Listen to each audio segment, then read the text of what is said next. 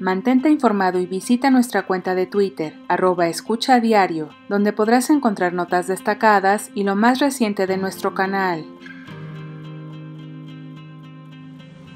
Aquí está justo el punto que quiero volver a comentar. Ayer lo destacábamos, pero vemos que es importante aclararlo para que la población lo tenga muy presente y no se confunda cuando vemos algunos medios que empiezan ya a generar una distorsión de la información.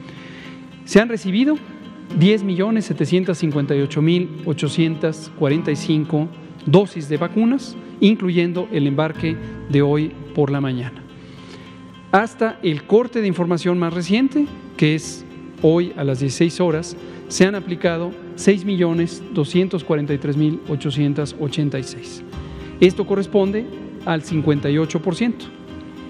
La inquietud es, pues aquí hay una diferencia de un poco más de 4 millones de vacunas. ¿Dónde están? Y entonces empieza a crecer la especulación, empieza a crecer la distorsión de información y empieza a sembrarse una idea falsa, no documentada, producto de una intención deliberada de confundir a las y los mexicanos de que hay cuatro y medio millones de vacunas guardados en un refrigerador cuando podrían estar ya poniéndose en los poblados, en las ciudades, en las personas. No es así. Esta diferencia corresponde, por ejemplo, hoy el millón de dosis llegó hoy por la mañana, espero que nadie que tenga un poquito de eh, capacidad de entender eh, el fenómeno, dado que se ha explicado innumerables ocasiones, nadie se le ocurra que el millón de dosis que hoy arribó en la mañana ya está aplicándose en las personas. Se tiene que distribuir al territorio nacional. El general Sandoval, nuestro secretario de la Defensa, ha explicado también repetidamente las rutas terrestres y aéreas de distribución de la vacuna. Esto no es que automáticamente cuando pisa cuando toca el territorio nacional, ya está en los poblados. Se tiene que distribuir. Y esa distribución tiene varias etapas para poder cuidar apropiadamente las vacunas. Recuerden que hay vacunas, todas están en refrigeración, algunas están en congelación avanzada, otras están en ultracongelación. Estamos hablando de una situación extrema que una vez que salen del ultracongelador, a temperatura ambiente en un periodo aproximado de 40 minutos en situaciones de mucho calor o máximo una hora, dos horas, ya la vacuna está descongelada. Y entonces se tiene que poner en pocos minutos porque si no se daña el producto. Entonces esto es muy, muy importante. Para que eso se haga de una manera muy cuidada, tiene que cuidarse lo que técnicamente llamamos en salud la cadena de frío o la red fría.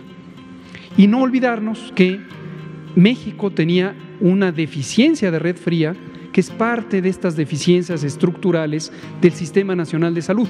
Igual que hemos hablado de los hospitales abandonados, los 300, más de 300 eh, hospitales abandonados, también por muchos años, y esto se puede documentar, lo hemos documentado, durante varios sexenios se abandonó la inversión en la red fría los gobernantes de sexenios anteriores no tomaron el cuidado de invertir para que existieran suficientes refrigeradores, cámaras frías y desde luego ultracongeladores nunca se habían usado en el programa de vacunación, porque ninguna vacuna requería estas condiciones. Entonces, esta diferencia la vamos a presentar próximamente con números específicos del corte de información concreto, porque esto va cambiando día con día. Pero hay gruesamente cinco etapas o cinco elementos de que llegan las vacunas, se comprometen las vacunas, hacia las, se asignan a las entidades federativas siguiendo criterios técnicos, tanto del análisis epidemiológico como de la vulnerabilidad poblacional. Una vez asignadas, se, se trasladan a nuestras Fuerzas Armadas para que la distribuyan en el territorio nacional.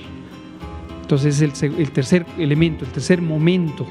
Cuando llegan, son almacenadas en estas cámaras frías, estamos hablando de eh, refrigeradores grandes y los ultracongeladores, y luego se aplican y se utilizan el mero día en que fue programado la persona para ser vacunada.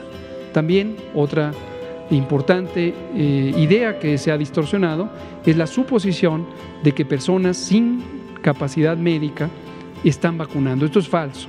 Esto es una mentira sembrada para confundir.